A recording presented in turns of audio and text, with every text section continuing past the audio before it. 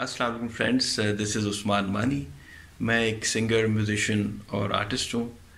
Various shows करता हूँ television पे भी और प्राइवेट शोज़ भी करता हूँ। यूट्यूब पे मेरा एक चैनल भी है और फेसबुक पे एक पेज भी है, जो नीचे लिंक्स में आपको साथ शेयर किया गया है। आप उसको फॉलो कर सकते हैं और लाइक कर सकते हैं। मेरे साथ इस वक्त मेरी वालदा हैं, महमूना यूसुफ बट जो माजी के हसीन और जमील और पहले लेजेंड हीरो थे पाकिस्तान के संतोष कुमार साहब। उनकी सबसे छोटी बहन है। यानी कि रिश्ते में वो मेरे मामू लगते हैं। तो हमारे दोस्त हैं आमिर शाह। उन्होंने गुजारिश की है कि वो वालदा के साथ बात करके संतोष साहब यानी कि हमारे मामू की ऐसी चीज़ें आपके सामने लेकर आएँगे जिसमें से बहुत सारी चीज़ें आपको ऑलरेडी पता भी हो सकती हैं और नई चीज़ें भी हो सकती हैं इंटरेस्टिंग तो मामा सलाम करें सबको। अस्सलाम वालेकुम। ठीक है जी? तो इन everything will be share with you shortly thank you मैं चलनी अपने घर। तुम के सूरत नहीं जा सकती? क्यों? जा क्यों नहीं सकती? जे तू गई हो तो मैं तेरे पीछे भूत पा देगा मैं उस भूत का शतूत बना देंगी।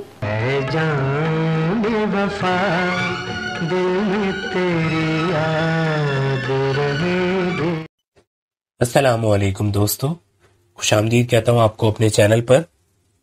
शुरू में आपने एक वीडियो क्लिप देखा जिसमें पाकिस्तान फ़िल्म इंडस्ट्री के लेजेंड एक्टर संतोष कुमार साहब की छोटी बहन और उनके भांजे उस्मान मानी, जो कि एक बेहतरीन गुलकार हैं, मौजूद थे। उस्मान साहब ने काफ़ी हेल्प की संतोष साहब के हवाले से, जो उन्होंने मुझे डिटेल प्रोवाइड की। और अल्लाह ताला गरी के रहमत में जगह दे सुलेमान साहब को। उन्होंने भी संतोष साहब के हवाले से काफ़ी ज़्यादा डिटेल्स बताई थी।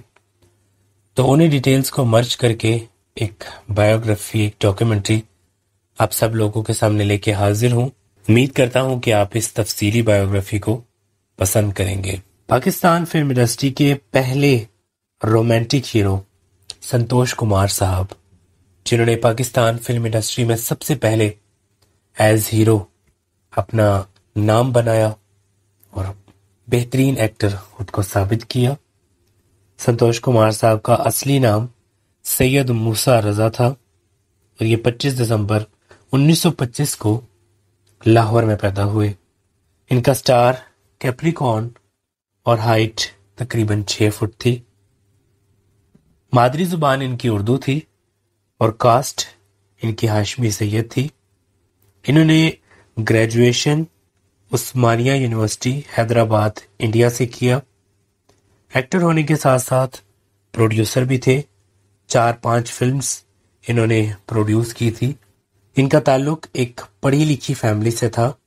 इनके वालिद का नाम सैयद मोहम्मद दाऊद था, जबकि वालदा का नाम जहूर जहाँ बेगम था। इनके वालिद सैयद मोहम्मद दाऊद साहब ने दो शादियाँ की थी, जिनसे इनके टोटल नौ बच्चे थे।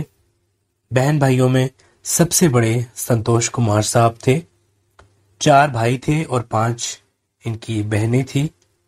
संतोष कुमार साहब बजाते खुद एक एक्टर थे। दर्पण साहब भी एक एक्टर थे। एस सलेमान साहब डायरेक्टर थे और मंसूर साहब भी एक एक्टर थे। संतोष कुमार साहब, दर्पण साहब और एस सलेमान साहब। अब इस दुनिया में हयात नहीं। अल्लाह ताला मंसूर साहब को ज़िंदगी दे। वो हयात हैं और लाहौर में एक खुशगवार ज़िंदगी गुजार रहे हैं। संतोष कुमार साहब की पहले शादी हो चुकी थी। सबिया खानम साहिबा से इनकी शादी से कबल ही वो शादीशुदा थे। उनमें से इनके तीन बच्चे हैं।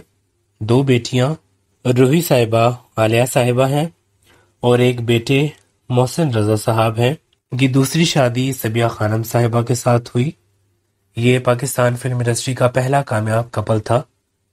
और फिल्म्स में काम करने के बाद ही इनको एक दूसरे से मोहब्बत हो गई और फिर इनकी शादी हो गई।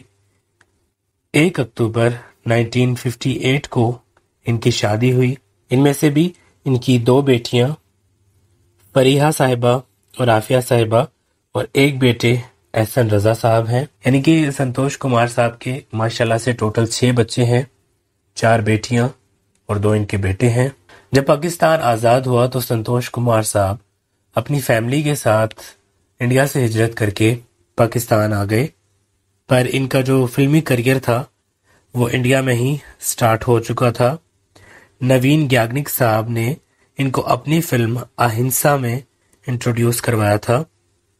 इन्होंने तकरीबन दो फिल्म्स इंडिया में की, एक अहिंसा और दूसरी मेरी कहानी।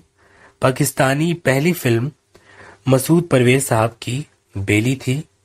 जो तीन फरवरी 1950 को रिलीज़ हुई थी। आपको बताता चलूँ कि ये वो फ़िल्म थी जिसमें बहुत सारे पाकिस्तानी फनकार मुतारफ हुए थे। संतोष कुमार साहब की ये पहली फ़िल्म थी। इनके मद्दे मुकाबल जो हीरोइन थी शाहिना साहिबा, उनकी ये पहली फ़िल्म थी। शाहिना साहिबा, सलमा आगा साहिबा की खाला थी। उनकी भी ये पहली फ़िल्म थी। इसके अलावा सबिया खानम साहिबा की ये पहली फ़िल्म थी। और पाकिस्तान फ़िल्म इंडस्ट्री की सीनियर एक्ट्रेस यास्मीन साहिबा, जिनका मैं वीडियो इंटरव्यू भी कर चुका हूँ, उनकी भी काम के लिहाज से पहली फ़िल्म बेली थी, पर फ़िल्म बेली से पहले उनकी फ़िल्म जहाद रिलीज़ हो गई थी। 1950 में ही रिलीज़ होने वाली फ़िल्म दो आँसू सुपरहिट साबित हुई। इस फ़िल्म में इनका pair legendary actress Sabiha Khanum साहिबा के साथ था।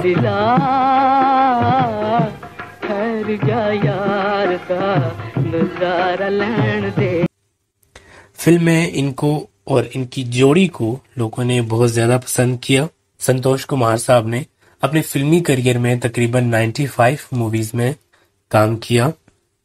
संतोष कुमार साहब पाकिस्तान के पहले एक्टर थे, जिन्होंने 1956 में रिलीज़ हुई फ़िल्म इंतज़ार में डबल रोल किया था। एक विलन का रोल और एक हीरो का रोल इन्होंने किया था। इस पर सदर अयूब खान साहब ने इन्हें सदारती अवार्ड से भी नवाजा था। संतोष कुमार साहब की एज हीरो भी बहुत सारी फिल्म्स सुपरहिट साबित हुई। मैं आपको जैसे पहले बता चुका हूँ कि पाकिस्तान के सबसे पहले सुपरहिट हीरो संतोष कुमार साहब ही थे। इनकी कुछ फिल्म्स सात लाख, सरफरोश, इंतज़ार, लैला, पतन, मुखड़ा कनीज मौसीकार, घूंघट, अंजुमन में इनका जो किरदार था, वो काबिल तारीफ़ है। इसके अलावा इन्होंने बेशुमार सुपरहिट फिल्म्स दी और अपना एक नाम बनाया। एज हीरो इनकी जो आखिरी फ़िल्म थी, वो सिप्पा सालार थी, जो 1972 में रिलीज़ हुई थी।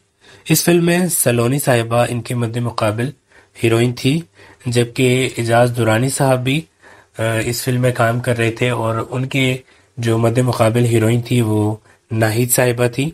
इनकी आखिरी फ़िल्म दीवाने दो थी, जो उन्नीस सौ पचासी में इनके इंतकाल के बाद रिलीज़ हुई थी।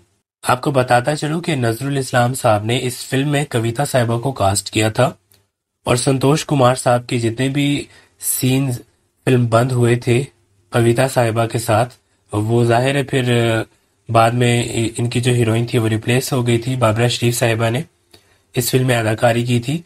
तो ये जो कविता साहिबा के साथ उनके जो सीन थे, वो ज़ाया हो गए थे। यही वजह है कि वो इस फ़िल्म में नज़र नहीं आएँगे आपको। पर एज एक्टर अगर कहा जाए तो उनकी आखिरी फ़िल्म दीवाने दो थी। संतोष कुमार साहब 11 जून उन्नीस सौ बयासी को ब्लड प्रेशर की वजह से इंतकाल कर गए। ये मुस्लिम टाउन के कब्रिस्तान लाहौर में आसूद खाक हैं। इनको सितारा इम्तियाज़ और निगार अवार्ड से भी नवाजा गया। अल्लाह ताला से दुआ है कि अल्लाह ताला मरहूम को जवार रहमत में जगह दें। ये ऐसे लेजेंड्स हैं जिनके हवाले से काफ़ी काफ़ी देर बोला जा सकता है। इनको खराज तहसीन पेश करने के लिए घंटे भी कम है, पर मैं इस वीडियो को यहाँ पर अख्ताम करूँगा और आप सब लोगों से भी गुजारिश करूँगा कि एक दफ़ा सुर फातिहा और तीन दफ़ा सुर इखलास पढ़ के इनकी रूह को बख्श दें। अल्लाह ताला मरहूम को जवार रहमत में जगह दें। आमीन सुम आमीन। कमेंट्स के ज़रिए अपनी कीमती राय से ज़रूर आगाह कीजिएगा। नेक्स्ट वीडियो तक मैं आपसे इजाज़त चाहूँगा। अल्लाह हाफिज़।